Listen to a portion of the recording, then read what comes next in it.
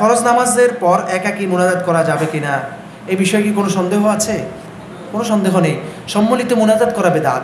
কিন্তু ফরজ সলাতের পরে দোয়া কবুলের একটা সময়। ওই সময় আপনি পার্সোনালি দোয়া করতে পারবেন এবং সেই ক্ষেত্রে হাত তুলিয়ে দোয়া করতে পারেন। হাত উঠানো ছাড়াও দোয়া করতে পারেন। এই ক্ষেত্রে দেখেন, আমরা অনেকগুলো দোয়া করি। সেগুলোতে আমরা হাত উঠাই না। আমরা অনেকে মনে করি যে দোয়া মানে হচ্ছে হাত উঠানো। আমাদের একটা বিভ্রান্তি হচ্ছে দোয়া মানে হচ্ছে হাত উঠানো কিন্তু হাত উঠানো ছাড়াও আমরা অনেকগুলো দোয়া করি। প্রথমত আমরা যখন বাথরুমে প্রবেশ করি, তখন আমরা কোন দোয়াটা পড়ি? আল্লাহ ইন্নি আউদুবিকা মিনাল খুবসি বল খাবাই সে আল্লাহ, আমি মানে অপবিত্র খবিস জিন থেকে আমি আপনার কাছে আশ্রয় চাচ্ছি। এটা একটা দোয়া নয়, দোয়া। তারপরে বলছে আল্লাহ আনতে সালাম ওমিনকে সালাম। আল্লাহ, আপনি হচ্ছেন সালাম, আপনার পক্ষ থেকে সালাম।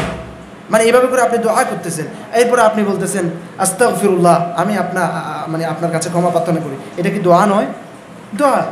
তারপরে আল্লাহ আইনি আলা দিক্রিকা বা শুক্রিকা বা হোসনে ইবাদাতি এটা একটা দোয়া। সুতরাং আপনি অনেকগুলো দোয়া করছেন। হাত উঠানো ছাড়া। আপনার এই দোয়া কিছু হাত উঠানো ছাড়া। এখন এখানে প্রশ্নটা যেটা হচ্ছে, সেটা হচ্ছে হাত উঠিয়ে দোয়া করা যাবে কিনা? একাকী হাত উঠিয়ে দোয়া করা যাবে। হাত উঠিয়ে দোয়া করতে কোনো অসুবিধা নেই।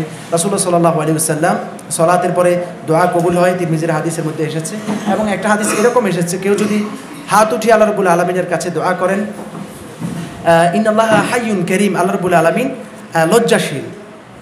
ইয়েস্তাহি ইদা রফা আর রাজুল ইলাইহি ইয়াদাইহি আন ইয়ারুদ্দাহুমা সিফরা।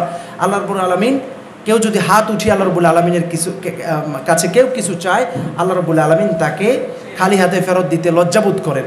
সুতরাং আপনি যে কোনো সময় সেটা মানে আল্লাহ রবুল আলমিনের কাছে চাইতে পারেন।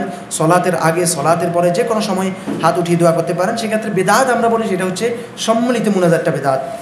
জি আল্লাহ আলম সবাব